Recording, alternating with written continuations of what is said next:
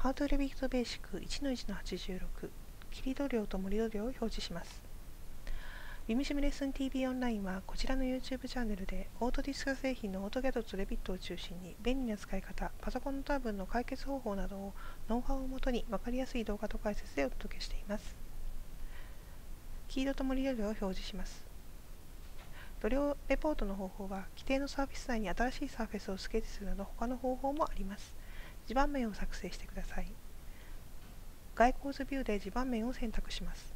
プロパティパレットで構築されたフェーズをビューのフェーズよりも前のフェーズに指定しま設定しましょう。例えば、ビューのフェーズが既定であった場合は、構築されたフェーズには既存に設定しましょう。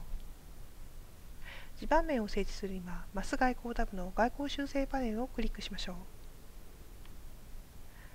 地盤面を作成を終了をクリックしてコピーした地盤面を選択してください。コピーされたサーフェスを選択するにはタブを押す必要があります。 Revit によってプロパティパレットに地盤面用の新しい切土と盛り土のプロパティが表示されます。フェイスフィルターをビューに指定をすると新しい要素のみが表示されます。解体された要素は表示されません。いかがでしたでしょうか？本日の How to Revit Basic はここまでです。また次回お会いできますことを